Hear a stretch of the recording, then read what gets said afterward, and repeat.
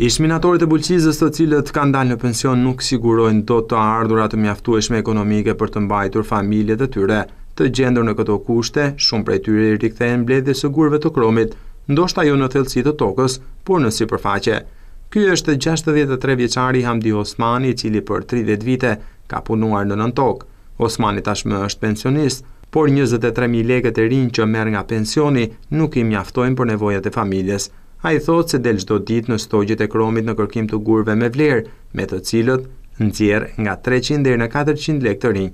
Sasinë e kromit e dorëzon tek ata të cilët e mbledhin me mjete, ndërsa pagesën thotë se e merr një herë në muaj. Herë nuk na na mjafton. Po ne dalim më kalu koha se s'kemi ka që krenë s'kemi tala se do shumë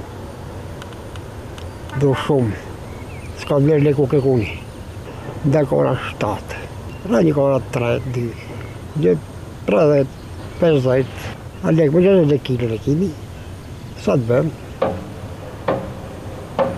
Po shumë ka njënë mujtë kromi. Një dërë.